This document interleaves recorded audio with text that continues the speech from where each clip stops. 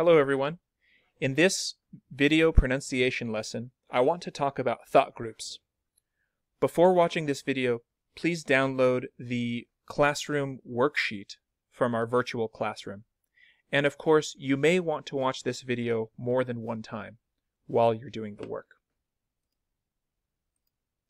By watching this video, I want us to understand thought groups so that we can 1. divide the stream of speech into thought groups, and 2. Understand how thought groups help listeners process what is being said. So what are thought groups? They are meaningful groups of words organized by speakers. They are marked by intonation and or pausing. Fluent speakers organize their speech into chunks called thought groups. They do not speak word by word. Of course not. They have a natural flow of speech. They do not speak word by word. So let's talk about those three things chunking, intonation, and pausing, because they are all important for understanding thought groups. First, chunking. We can chunk um, speech into several different types of logical thought groups. The first are short sentences. I have to study. Where did I put my book? Short sentences can be thought groups by themselves. For longer sentences, we might break them in clauses or phrases. For clauses, you might have, for example, if you speak in thought groups, you'll be easier to understand. And then for phrases, Steve Jobs dropped out of college after six months.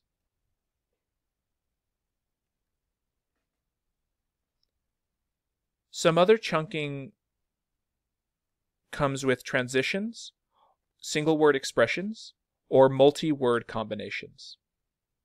For transitions, uh, single words or phrases like in fact, or however, or on the other hand, will signal a thought group. In fact, thought groups make you sound more fluent.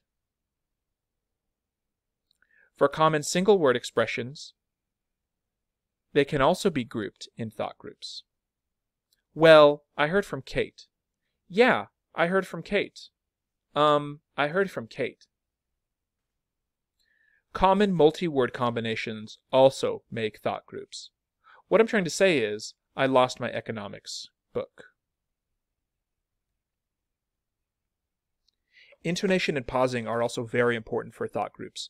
Changes in intonation with the pitch, the volume, the length on focus words signal thought groups. Remember that falling pitch is usually declaring or giving information, and rising pitch usually signals uncertainty or surprise or a yes-no question. Pauses also help guide the listeners. You will hear pauses, especially when native speakers give numbers, a series of numbers. A native speaker would have trouble understanding a set of numbers without pausing. So we typically speak in chunks. Here's an example below. Hello, this is 707 555 7575.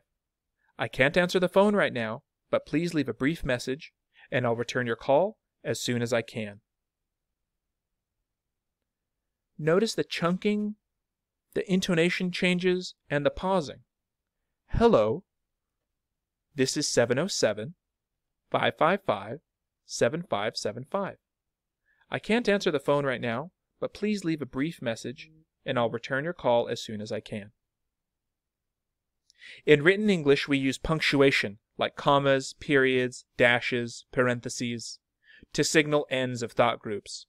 But in spoken English, we use our voice to signal thought group boundaries with chunking, intonation, and pauses. Thanks for watching the video. Please complete the worksheet before our next session. See you soon.